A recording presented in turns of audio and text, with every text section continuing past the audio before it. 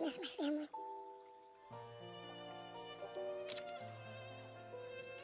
That's me. There's Libby. And Buck. And Mama. And... And Papa. Family. You don't understand. That's okay.